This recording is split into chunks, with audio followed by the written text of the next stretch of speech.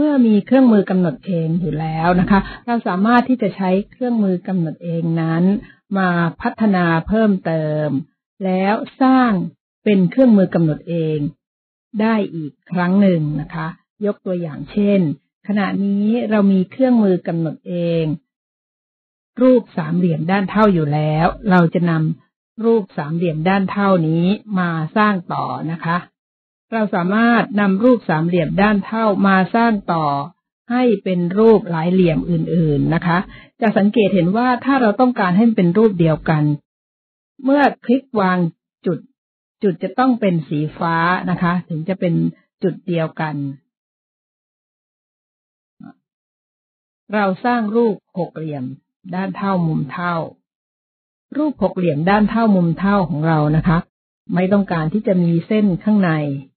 เราก็ปลุกเส้นให้ตื่น เพื่อที่จะ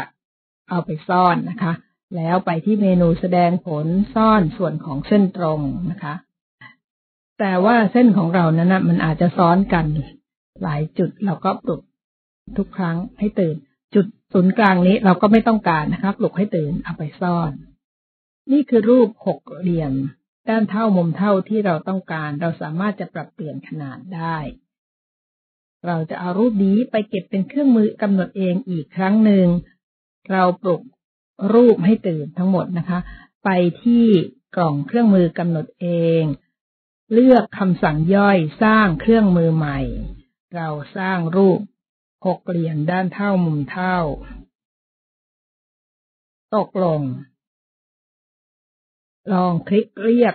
รูปหกเหลี่ยมด้านเท่าของเรามาดูนะคะ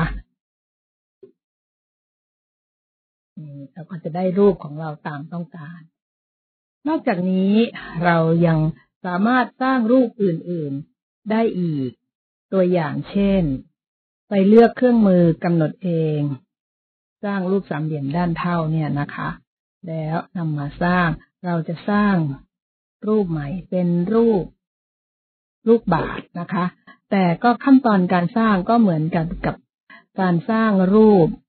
หกเหลี่ยมด้านเท่ามุมเท่านะคะ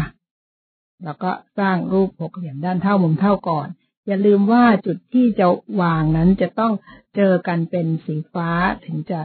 เป็นจุดเดียวกัน เมื่อเป็นจุดเดียวกัน เราดึงเนี่ย มันจะไม่แยกจากกันนะคะเอาละ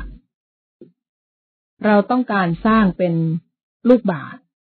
ดังนั้นเราจึงเอาส่วนของเส้นตรงบางเส้นไปซ่อนนะคะ สามเส้นนี้เราจะเอาไปซ่อนปลุกให้ตื่น ไปที่เมนูแสดงผลซ่อนส่วนของเส้นตรง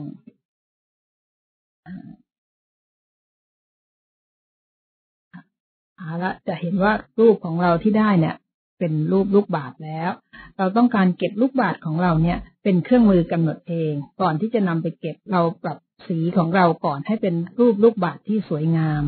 ปลุกบริเวณภายในด้านบนมาให้ตื่นนะคะ แล้วก็เปลี่ยนสี เปลี่ยนด้านข้างด้วย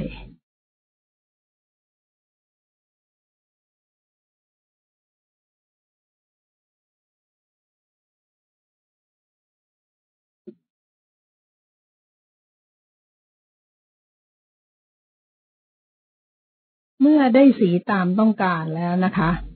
ปลุกรูปบาทนี้ให้ตื่น ทั้งจุดทั้งเส้นและที่ระบายสีไว้นะคะ ไปที่สร้างเครื่องมือใหม่ ตั้งชื่อ ลูกบาท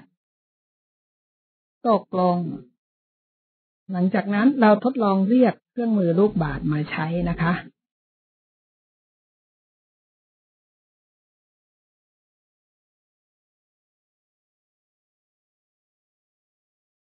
เราก็จะได้รูปลูกบาท ตามใจชอบ การเก็บรูปที่เราสร้างเป็นเครื่องมือกำหนดเองนั้น ขึ้นอยู่กับขั้นตอนการสร้างลำดับการเลือกวัตถุที่จะเก็บเป็นเครื่องมือมีความสำคัญนะคะ